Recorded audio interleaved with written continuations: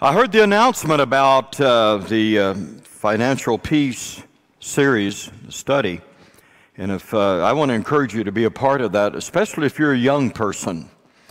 Don't wait till you're my age; it's too late then, and there is no peace. But uh, do it while you're young, and when you get to my age, you can have some peace in life. And there's great, great guidance through that. Hope you'll partake of it.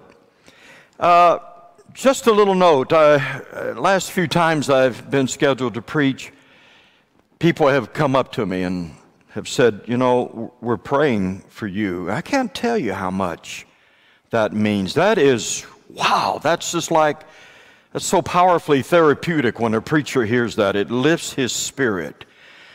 Because our greatest fear is to try to do this in and of and by ourselves because we know failure is guaranteed.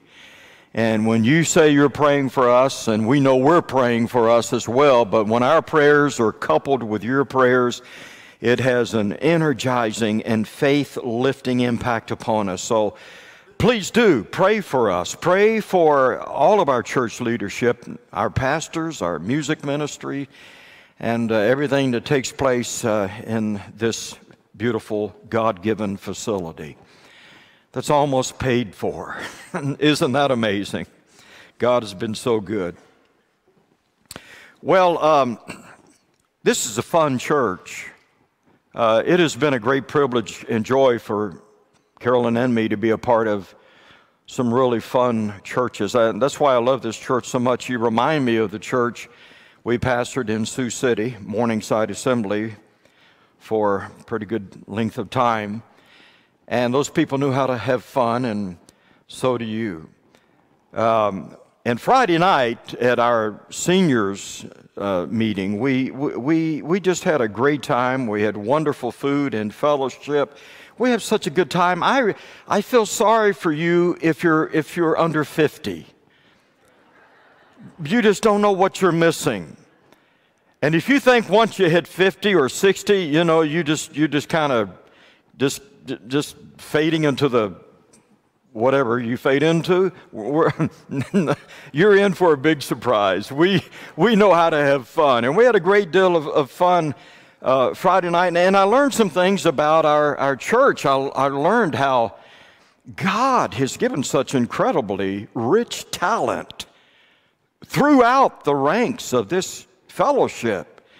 And we saw some of that talent on display Friday night. I mean, woodworking and stained glass creations and dressmaking and art and quilting and uh, singing and playing instruments. And the theme that Friday night was New Hope's, New Hope's Got Talent. And boy, do we. And we think there's still some rich reservoirs of undiscovered talent that will soon be discovered. And it's great. I also learned Friday night that uh, New Hope is a very, not only a talented group, but a very merciful group as well. You see, I sang and I played my guitar for the, like the first time outside of my house. And uh, I was so nervous and I got through the night. No one threw anything at me. They're um, just a couple of salt shakers, but I'm not worried about. They were small. They were small salt shakers. Um, so it was, it was a wonderful night, and, and not, not very many people walked out on me. Just I, I didn't count them all, but it wasn't very many. This church knows how to extend mercy. Of course, I shouldn't be surprised by that because I, you've been doing that to Pastor Weaver for years. And, uh, but it was so confirmational and to be able to accept that personally.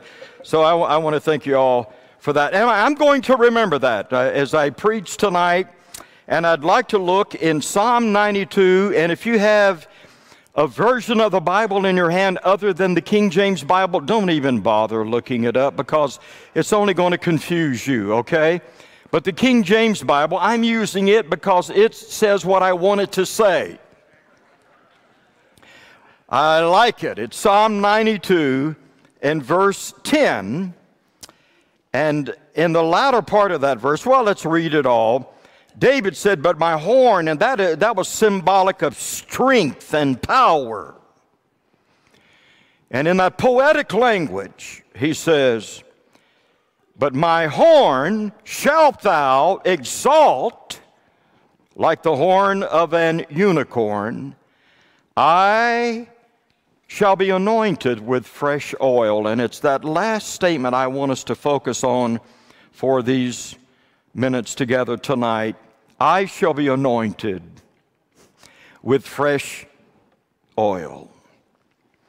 When I first came to Iowa out of Tennessee, I didn't know how to say oil.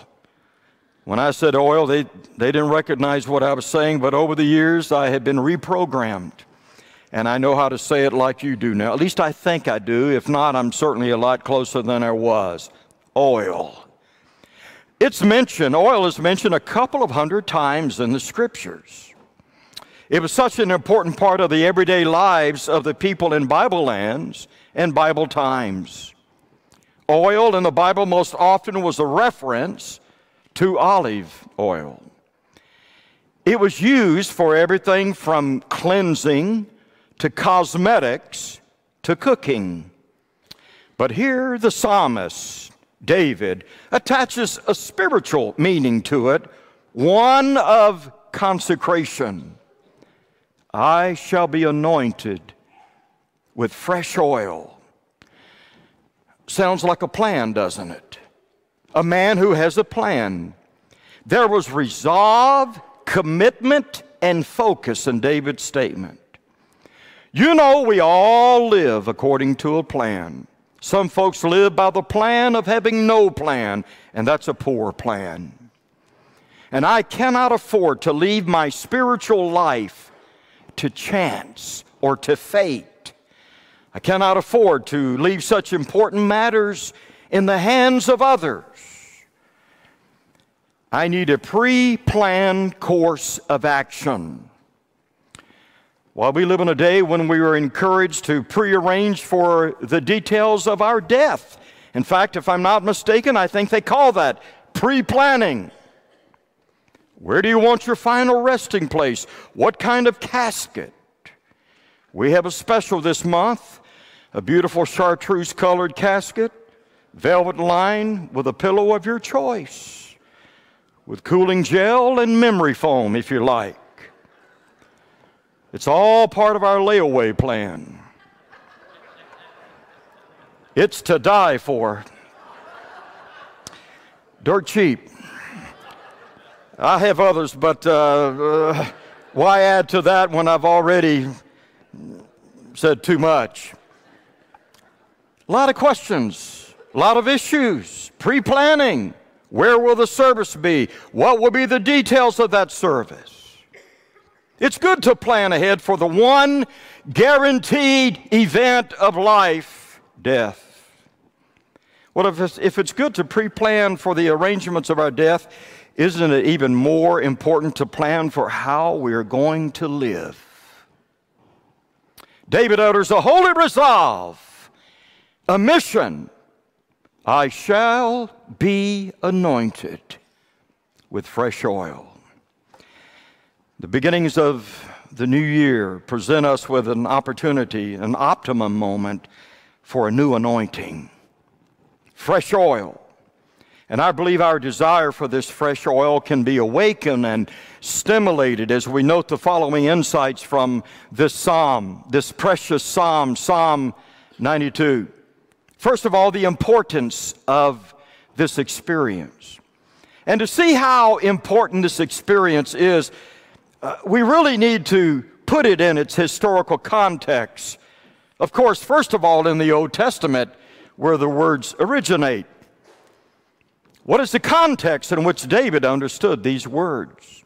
In Israel, whenever a prophet or a priest or a king would be commissioned for service, they would be anointed with oil as a symbol of being set apart for the work God had called them to do. A symbol showing his need for the blessing and the Spirit of God in order to fulfill his God given assignment. And we have many examples in the Bible. In Leviticus, Aaron is anointed as priest.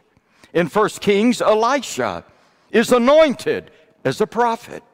In 1 Samuel, David is anointed as a future king. Samuel had been sent to the house of Jesse, David's father. He had been sent there by the Lord himself to look among Jesse's seven sons for God's chosen king. He looked them over and he didn't see God's appointed one. And so the prophet asked Jesse, he said, Are these all your children?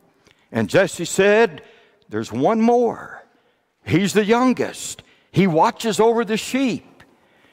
And when the young man was brought in at Samuel's request, the Lord spoke to Samuel's heart and he said, This is the one. Arise and anoint him. The Bible says, Then Samuel took the horn of oil and anointed him in the midst of his brothers, and the Spirit of the Lord came upon him from that day forward. That young man was David. The same David that now says, I shall be anointed with fresh oil. And then when you come to the New Testament, you see it still playing out in the most vivid manner. In Luke chapter 4, Jesus began his public ministry with the words, the introductory words in his own hometown church, his own hometown synagogue. He said, The Spirit of the Lord is upon me, he hath anointed me. And later, Simon Peter writes of how God anointed Jesus of Nazareth with the Holy Spirit and with power, who went about doing good and healing all that were oppressed of the devil.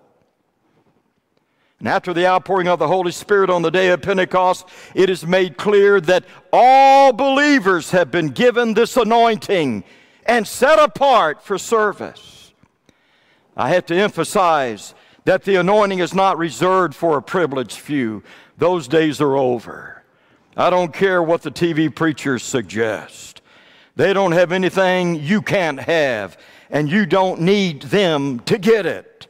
This anointing is not the exclusive possession of the pastor or the missionary or the televangelist or the so called prophet so he can make a profit. It belongs to every believer, and I'm about to prove it. 2 Corinthians chapter 1 verse 21 says, "Now he who establishes us with you in Christ and anointed us is God." 1 John chapter 2 verse 20. John said, "But you have an anointing." In 1 John chapter 2 verse 27, John writes, "As for you, the anointing which you received from him abides in you." So, this anointing is God's Spirit resting on us, working in us, and blessing the world through us. And it belongs to every single believer. It is every believer's prerogative to say, I shall be anointed with fresh oil. Secondly, not only the importance of this experience, but the interpretation of this experience. How are we to understand it? What does it mean? Well, as we've seen, anointing is a symbol, first of all, of dedication. When prophets and priests and kings were anointed, it was a symbol of them being set apart for the work God had commissioned them to do. And David surely can't help but reflect back on that time when he was anointed as king, when Samuel took that horn of plenty and poured that oil out on David, and simultaneously the Spirit of the Lord came upon him. Now, David has lost something and he wants it back. And he vows this is a new day with new challenges, and I'm not going to live on yesterday's experience. I am consecrating myself afresh and anew to God's holy purposes. I shall be anointed with fresh oil. Not only a symbol of dedication, it's a symbol of restoration. David knew that. As a shepherd, he knew that. He had seen it many times. In fact, he wrote about it. You know, the shepherd, at the end of the hot, tiring day, would walk through his flock and he would individually examine the sheep to see if perhaps a sheep had been wounded by a jagged rock or a thorny briar. And if so, he would anoint them with healing and soothing oil. And David reflected on that in the 23rd Psalm Thou anointest my head with oil, he restoreth my soul. It's a symbol of restoration. And so I would say to you tonight are, are you weary? Have you been hurt or wounded? The Good Shepherd walks through the flock looking for the weak and the weary and the wounded. He has fresh oil for you. There is restoration here. You might suspect that you would see evidence of that in this psalm, and indeed you do. In verse 10 of Psalm 92, David said, But my horn shalt thou exalt like the horn of an unicorn. In verse 12, the righteous shall flourish like the palm tree. He shall grow like a cedar in Lebanon. And in verse 13, those that be planted in the house of the Lord shall flourish in the courts of God. Verse 14, they shall bring forth fruit in old age. They shall be fat and flourishing. So let the weak and the wounded say, I shall come to my shepherd. I shall let him minister to me. I shall seek his hand of healing and his touch of restoration. I shall be anointed with fresh oil. It was also a symbol of jubilation. You see that in the Psalm, verse 1. It's a good thing to, to give thanks unto the Lord and to sing praises unto thy name, O Most High. In verse 4, for thou, Lord, hast made me glad through my, thy work. I will triumph in the works of thy hands. In Psalm 45 and verse 7, David says, Thy God hath anointed thee with the oil of gladness above thy fellows. Oh, it must grieve the heart of God and perplex the men of the world and delight the demons of hell to see joyless Christians in joyless churches having joyless services. Sometimes it's like the little girl whose grandfather was a very religious man, and that was the problem. You see, religion has never done anything for anybody except for deceiving them and putting them into bondage. And her grandfather was always so sober and serious. Seeking relief from such, such oppressiveness, she went out to the pasture and she spotted a donkey, a sad looking creature. And she said, Poor little donkey, you've got grandpa's religion too. Well, maybe grandpa needed to be anointed with fresh oil. You're never too old, you know. You never reach the point where you never need a fresh anointing. Oil is the lubrication that keeps the machinery running smoothly.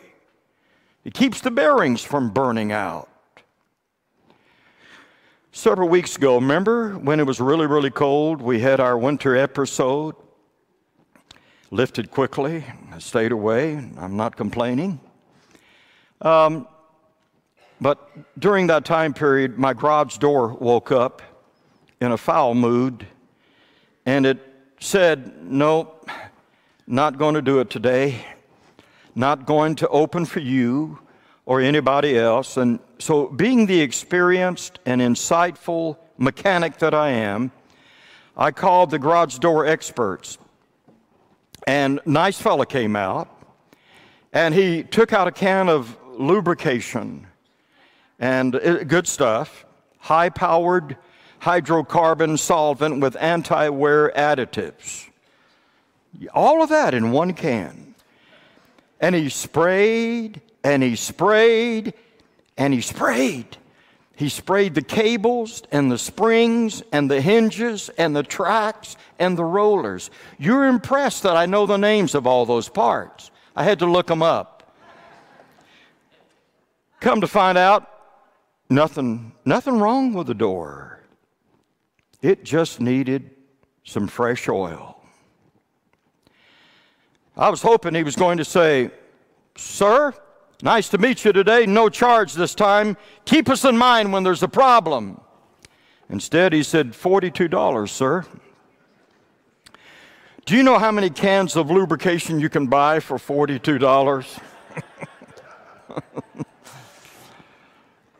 you know, people can get like that garage door loud, cranky, fussy, cantankerous. None of, none of them are here tonight because those people don't come on Sunday night. But I'll tell you, let them get anointed with fresh oil and they quiet right down. They begin to operate in a smooth and cooperative manner. Nothing wrong with them that some fresh oil couldn't fix. Thirdly, not only the importance of these words and the interpretation of these words, but the implication of these words. Now, uh, David's talking about two things he's talking about God and he's talking about himself. So there are implications here about both. First of all, God. God is able. He's got the oil, and He's got enough. He's got enough for all of us. No one has ever come to God and heard him say, Whoops, I'm sorry, you're a day late. I just ran out. My resources are depleted. I'm sorry. I just gave out the last bit of oil, so no more anointing. I just saved the last soul, no more mercy. I just healed the last body, no more healing virtue. I just fulfilled the last promise, no more grace. There are no oil shortages with God. There's more than enough for every empty vessel, every aching heart, every needy soul. Now, here on earth, they're telling us we're running out of everything. We're running out of oil, we're running out of water, we're running out of food, we're running out of money, we're running out of time. I'm running out of patience listening to them all. God's supply is inexhaustible because God is inexhaustible. In verse 2, his loving kindness and his faithfulness are inexhaustible. Verse 5 and verse 8, his greatness is inexhaustible. In verse 1, his height is inexhaustible. Oh, most high. And in verse 5, his depth is inexhaustible, the profundity of his thoughts. In verse 8, there is no end to his days. And in verse 9, no end to his conquest. So don't worry. He's got what you need, all you need, and more than you need. But there are also implications here about us. You see, this is personal. David starts with David. I that's a good place to start. In fact, the only place. A lot of folks want to start with you and them and those people. Been many times in my life when I preached a sermon and went out to greet people, and somebody would say, Man, those people really needed that today. Not too long ago, I preached a sermon on, on pride as we were going through the book of James, and after the service, someone asked me, Who were you thinking of when you preached that sermon? And I think my answer surprised them. Their question certainly surprised me. Who were you thinking of when you preached that sermon? And I just spoke to them honestly and I said, Me. It's not my brother. It's not my sister, but it's me, O oh Lord, standing in the need of prayer. No one can stand in for me, no one can take my place, not when it comes to my relationship with God. No one can do for me what I must do for myself. I cannot live off of your experience. I can't get the anointing or the fresh oil from you. I have to go to God myself, just like David. It's God and me. In a church in London, there's a bronze tablet with the inscription Here, God laid his hand on William Booth. Now, William Booth was born in poverty. And before social media and cell phones, he became the leader of an army of over two million people dedicated to fighting poverty in the name of Christ. William Booth was the founder of the Salvation Army. On one occasion, a man came to that church in London and he stood at that tablet for a long, long time. And the caretaker of the church wanted to close the church. And he approached the man and he asked him if he would leave.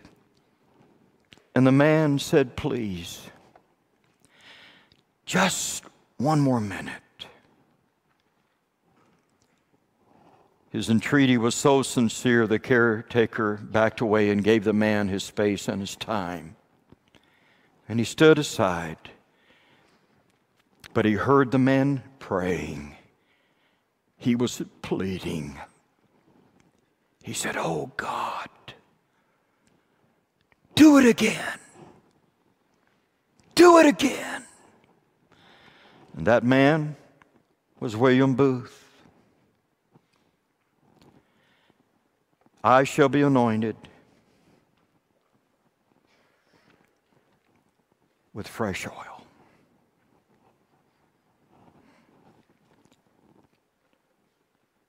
Father, I thank you today that that possibility is right in front of us. And I thank you that you never turn us away, that we're never rejected, that we're never sent away empty handed.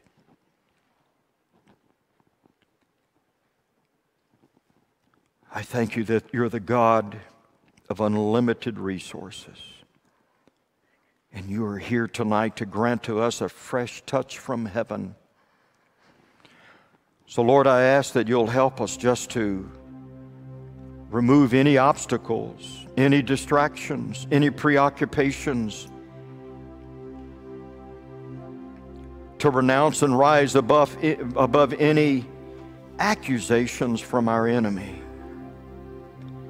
And that the way would be cleared so one man, one woman, one child could come before your throne and receive from you a fresh anointing. It's a plan. It's a good plan. And we thank you, Lord, as we present ourselves, you present yourself. As we draw nigh to you, you draw nigh unto us. As we knock on that door, God Himself opens it up and invites us in.